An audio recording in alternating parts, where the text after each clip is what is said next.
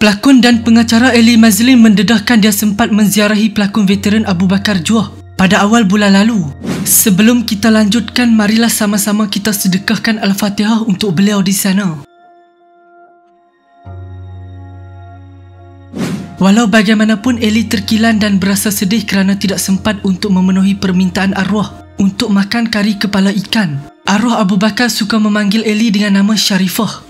Katanya, sempat jumpa ayah awal bulan hari itu. Kata Mama dan Zari, ayah tak ada selera nak makan. Masa Sharifah datang, ayah cuba makan sebab nak Sharifah gembira. Eli berkata dia sempat bertanya apa arwah ingin makan. Kemudian arwah berkata dia teringin nak makan kari kepala ikan.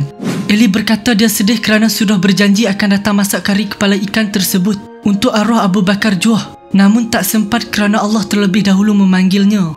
Tambah pelakon drama Kampung People itu, dia akan tunaikan janji untuk melawat seperti mana yang diberitahu kepada anak arwah. Semalam Allah Yarham dikatakan menghembuskan nafas terakhir kira-kira pukul 6.35 petang di kediamannya.